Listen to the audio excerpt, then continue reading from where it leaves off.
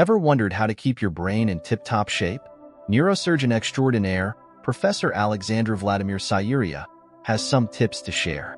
With over 50 years of experience and nearly 23,000 surgeries under his belt, he knows a thing or two about the brain. Firstly, rise and shine early, he advises. Pop those curtains open, inhale that fresh air deeply, and chug down two glasses of room temperature water. Why? Your brain adores water. And guess what else it loves? Dark chocolate and a low-fat diet. Who knew the brain was so health conscious? But what should your brain steer clear of? Alcohol, tobacco, salt, meat, and animal fat are big no-nos.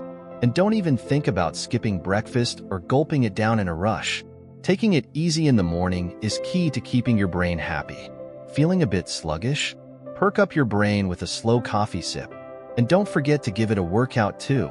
Writing, solving crosswords, singing, dancing, you name it. Any of these fun activities can get those brain cells flexing.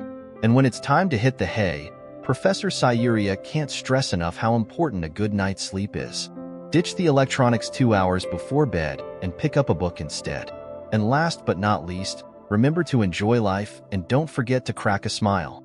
A happy brain is a healthy brain, right? So, who's ready to start taking better care of their brain?